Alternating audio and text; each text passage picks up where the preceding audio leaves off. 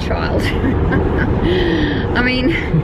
yes, it's a little bit different from going into Louis Vuitton. Uh, yeah, um, have to get back into um, buying from Louis and Chanel and everything. Oh, but okay, yeah, enough. but we're sort of like um, new parents again, aren't we? So I sort of uh, blog. We're going to take her to the beach, the park, and get some fish and chips. So she is in the back. So hello, Miss Belle. Being a good girl there in the back. It's actually, oh, there goes the toll. That's what that noise was. Um, do you all have tolls where you live? I'm sure you do. It is a beautiful sunny day today in Brisbane, heading south down towards the Gold Coast. We're not going right down towards the Gold Coast, but yesterday was pouring